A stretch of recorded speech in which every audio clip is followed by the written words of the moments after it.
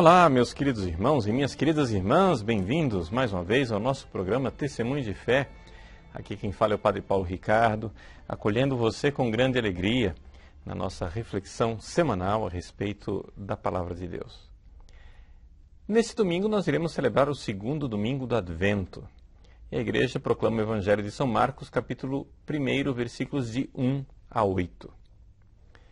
Trata-se realmente dos primeiros versículos do Evangelho de São Marcos. Aqui nos é apresentada, né, é, em breves palavras, a figura de São João Batista. São João Batista é muito importante para a celebração desse tempo de advento em que nós preparamos a vinda de Jesus. É ele aquele que preparou o caminho de nosso Senhor, né? o pródromos, ou seja, o precursor, aquele que é, foi é, correndo na frente, que foi andando na frente de Jesus para preparar o seu caminho. Como disse o próprio Zacarias, pai de São João Batista, é? e tu, menino, serás profeta do Altíssimo, pois irás andando à frente do Senhor para preparar o seu caminho, anunciando ao seu povo a salvação para a remissão dos seus pecados. Então, é esta a missão de João Batista e não existe missão mais importante neste tempo do Advento. Estamos preparando a vinda do Senhor. Então, precisamos que é, essas palavras de João Batista caiam é, fundas no nosso coração. Bom, o Evangelho é, de Marcos começa então com uma citação do profeta Isaías. Citação essa que está na primeira leitura do nosso, da nossa liturgia. É Isaías capítulo 40. É, para quem conhece o profeta Isaías, o profeta Isaías ele é dividido em partes, é, um pouco baseado na cronologia, ou seja, existe uma parte do livro do profeta que é anterior ao exílio, uma outra parte que é, é durante o exílio e outra parte que é pós-exílica. O capítulo 40 de Isaías começa a parte do exílio, ou seja, é o Deutero Isaías, é a segunda parte do livro do profeta Isaías. Interessante notar que o povo soberbo é, quis uma salvação longe de Deus. Deus, eh, durante toda a parte primeira do livro de Isaías, diz ao povo que não confie nas suas alianças humanas como o Egito, mas que confie em Deus. No entanto, o povo rebelde, o povo presunçoso, orgulhoso, confia nas suas próprias forças, nas suas próprias artimanhas, na sua astúcia e terminam se dando mal. Né?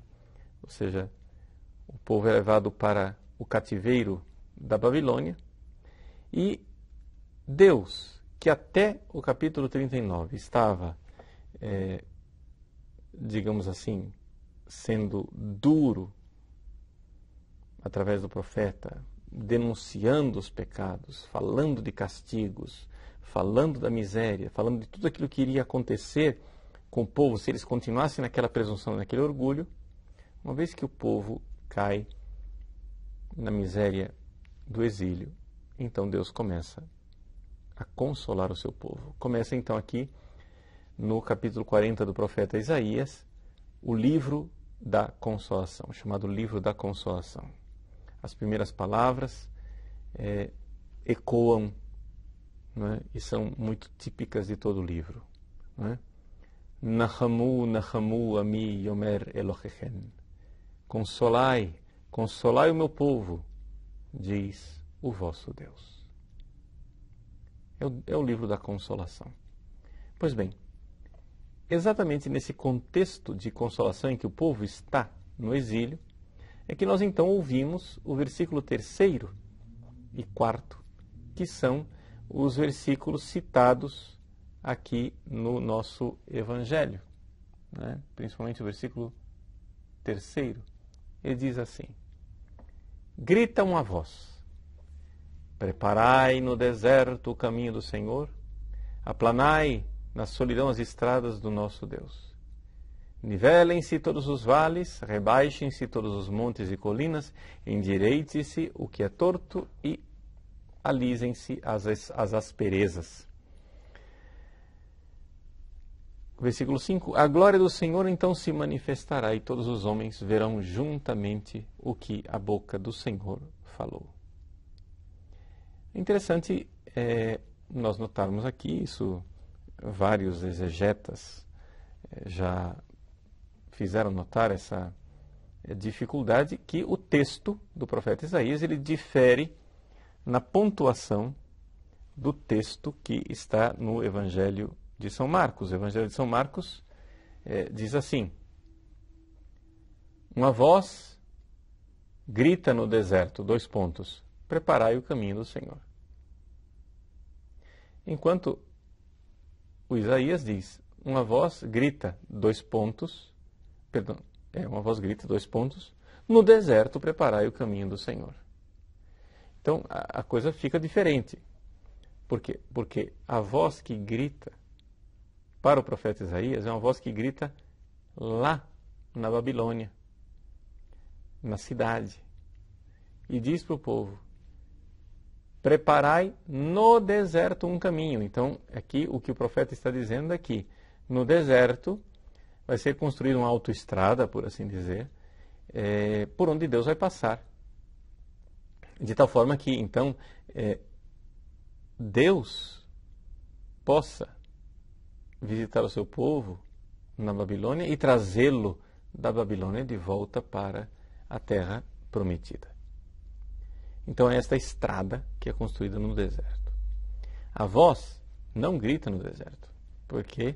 Porque no contexto de Isaías não tem sentido nenhum a voz gritar no deserto, porque não havia ninguém no deserto. As pessoas estavam na cidade, estavam lá na Babilônia, estavam é, no cativeiro. Muito bem.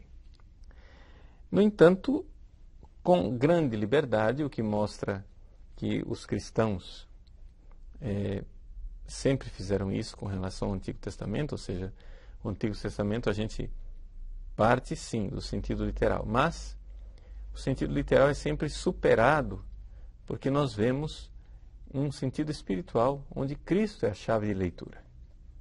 Então, embora no sentido literal originário de Isaías é, prepara-se um caminho para Deus no deserto, para que o povo retorne do exílio da Babilônia, aqui, à luz de Cristo, a profecia adquire o seu significado profundo e nós cristãos é, dizemos o seu significado verdadeiro, que é o significado exatamente de preparar o caminho de Jesus. Jesus. Aqui está a, a grande diferença. Então, é, nosso Senhor aqui então nos coloca nesse evangelho: preparai o caminho do Senhor, endireitai as suas estradas. E essa voz que clama no deserto é João Batista. Como é que nós podemos preparar a vinda de Jesus?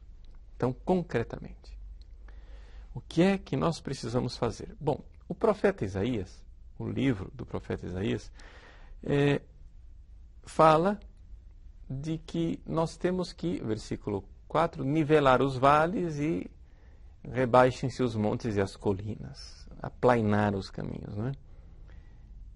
Nesse sentido, nós podemos ler aquilo que é a pregação de João Batista no versículo 7, onde ele diz assim: Depois de mim virá alguém mais forte do que eu, e eu nem sou digno de me abaixar para desamarrar as suas sandálias. Vejam a humildade de João Batista. João Batista, então, prepara o caminho do Senhor, né, através de um batismo de conversão para o perdão dos pecados. As pessoas vão até ele para confessar os seus pecados e, portanto, o caminho de João Batista é um caminho de humildade, um caminho de reconhecimento de nossa miséria, de nosso rebaixamento, ou seja, as nossas montanhas, as nossas colinas têm que ser rebaixadas. Os nossos é,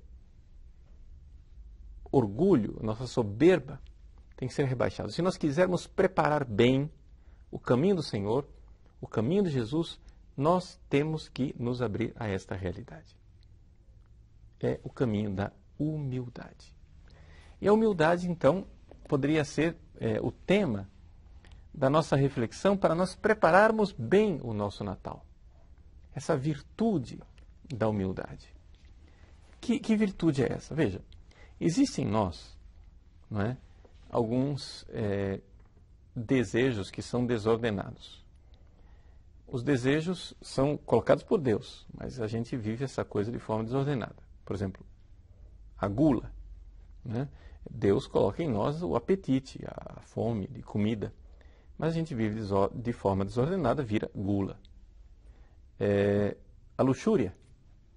Deus coloca em nós o apetite sexual, mas vivido de forma desordenada, vira luxúria. Assim também, Deus colocou em nós um desejo de glória. Por quê? Porque nós fomos feitos para a glória do céu, evidente. Mas este apetite desordenado com relação à nossa própria excelência, à nossa glória, cria é, uma desgraça, que é exatamente a, o vício da soberba. Né? Que é exatamente isso a soberba. A soberba é um apetite desordenado de nossa própria excelência. A humildade, então, é uma virtude que é, deve refrear, assim como a gente tem que colocar um freio no apetite de comida, senão aquilo termina nos destruindo, temos que colocar um freio no apetite sexual, senão isso nos destrói. Também o apetite que nós temos de é, glória e de excelência tem que ser colocado um freio para que a gente então é, consiga realmente viver as coisas como Deus quer. Não podemos roubar a glória de Deus. E é por isso que João Batista, então, é, prega um batismo de conversão, em que nós temos que confessar os nossos pecados. Esse, essa realidade de, da confissão dos nossos próprios pecados, reconhecer a nossa pequenez. E ele mesmo dá o exemplo. Ele dá o exemplo reconhecendo a sua pequenez, a sua miséria, dizendo que virá alguém que é mais forte do que eu e eu não sou digno de me abaixar para desamarrar as suas sandálias. Eis aí é, o exemplo da humildade.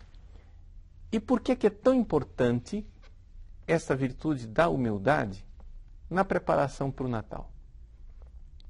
Bom, por uma coisa muito básica, muito fundamental, que é o fato de que é, o próprio Deus no Natal se rebaixa, se humilha para que nós possamos ser salvos. É, nós temos esse apetite desordenado de glória. Deus, que tem a glória no céu, ele se rebaixa. É? Aquilo que nós encontramos no capítulo 2 da carta de São Paulo aos Filipenses, é? Essa, este rebaixamento de Cristo que se faz é, humilde, se esvazia a si mesmo, ekenosen, né? a kenosis, é, do Verbo eterno, do, do Filho de Deus, ele se esvazia a si mesmo e vem nos ensinar a ser humanos. Ou seja, nós, seres humanos, queremos ser deuses. Deus, então, vem ser humano para nos ensinar a sermos humanos. Então, essa é, esse é o grande mistério do Natal. O mistério do Natal é o mistério da humildade vivida por Deus. Ou seja, Deus que é, é soberano, Criador do céu e da terra, Ele que é habita em luz inacessível, na sua glória eterna, ele sai, se rebaixa, se esvazia, se humilha, se faz pequenino, se faz uma criança frágil em Belém, numa manjedoura, para nos ensinar a sermos humanos. Ou seja, se nós quisermos ser humanos, nós temos que reconhecer a nossa pequenez e aprender a dar graças a Deus, a glorificar a Deus pelos dons que Ele nos deu. Esse é o mistério do Natal. E para nós então acolhermos a verdade de Deus que se humilha, nós temos também que nos rebaixar. porque o perigo de nós reagirmos como Herodes, de nós reagirmos como tantos soberbos da história que não reconheceram a visita de Deus é muito grande.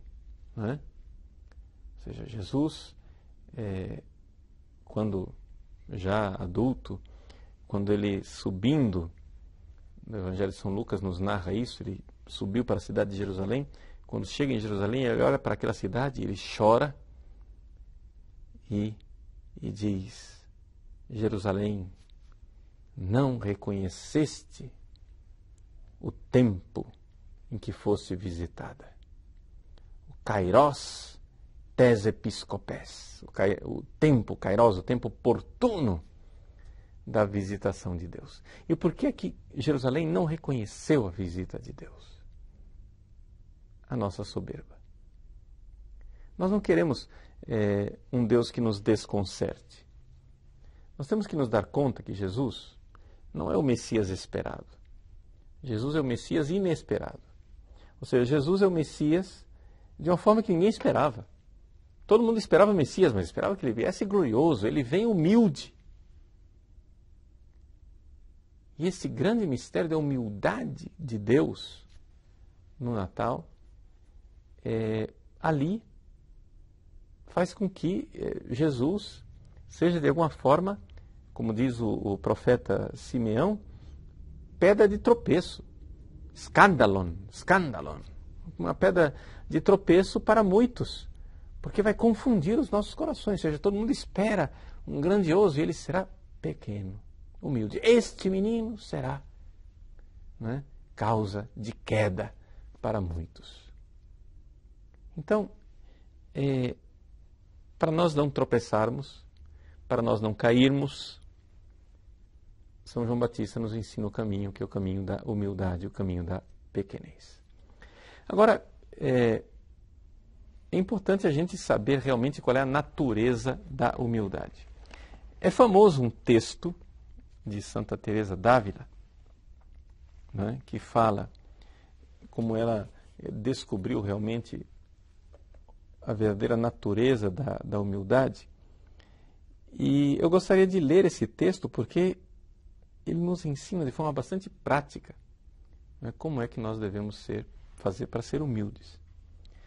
Trata-se do texto que está no, nas moradas, no castelo interior, nas sextas moradas, capítulo 10, número 7. Diz assim: Certa vez, pensando eu por que Nosso Senhor aprecia tanto a virtude da humildade, deparei logo, a meu ver, sem que eu o considerasse de modo repentino, com o seguinte: sendo Deus a suma verdade e a humildade andar na verdade, eis, que a, eis a razão da sua importância. Então vejam só que beleza. Deus é a verdade. E o que é a humildade? Olhem essa definição de humildade dada por Santa Teresa, que é uma definição importantíssima, assim, é, porque ilumina. Humildade é andar na verdade. Não, é? não se trata de eu é, inventar coisas a meu respeito. Não, basta que eu esteja na verdade, eu seria humilde. Mas ela não para por aí. Ela explicita o que é este andar na verdade. Ela diz: E é grandíssima verdade o fato de que nada de bom procede de nós. Só o fazem a miséria e a insignificância. Ou seja, somente a miséria e a insignificância que vem de nós. E quem não entende isso anda na mentira. Quem mais o compreender mais agradará a suma verdade, porque anda nela. Praz a Deus, irmãs, dar-nos a graça de nunca abandonar esse conhecimento próprio. Amém. Ou seja, a humildade significa reconhecer que o que nós temos de próprio, de nós mesmos, é miséria, pecado. E o que temos de bom vem de Deus. Por isso, nós não precisamos ficar agora é, nos rebaixando inutilmente e criando farsas, é, comédias, né? como se é, fosse agradar a Deus a gente fazendo um teatrinho do humilde, bancando o humilde. Né? Não, teatro é teatro, teatro é falsidade, é, é, mentira. E Deus não quer que a gente viva na mentira. Deus quer que é, a gente viva na verdade. Então, se nós quisermos ser humildes, nós temos que fazer o seguinte: reconhecer que o que vem de bom, o que existe de bom em nós, vem da graça de Deus. E o que existe de próprio em nós mesmos é somente o pecado e a miséria. Santo Tomás de Aquino, na sua obra monumental, extraordinária, a Suma Teológica, é? Na parte que ele fala das virtudes, que é a, a segunda secunda, a segunda sessão da segunda parte da Suma Teológica, na questão de número 161, 161, ele trata da humildade. No artigo 3 ele diz algumas coisas assim bem práticas, que valeria até a pena ler o, o artigo inteiro, né, se nós tivéssemos tempo. É, ele trata de forma bem prática, dizendo assim: veja, Deus não pede que nós é, nos humilhemos falsamente diante dos outros. Né? Citando aquele versículo da carta aos Filipenses, capítulo 2, que eu já citei o capítulo, falando do, do hino cristológico, uns versículos antes do hino cristológico, o versículo 3, é, São Tomás recorda, São Paulo dizendo assim, In humilitate superiores sibi in vicem arbitrantes. Com humildade considerai os outros superiores a vós. Bom, os outros são superiores a nós. Então como é que eu vou fazer isso? Eu vou fazer uma farsa?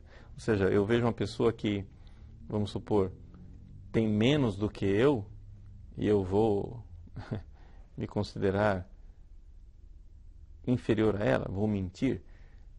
Não, não é isso. Não é mentira é o seguinte: você vai olhar para a pessoa e vai considerar que ela tem dons de Deus que você não está enxergando. E que você tem misérias que você está enxergando.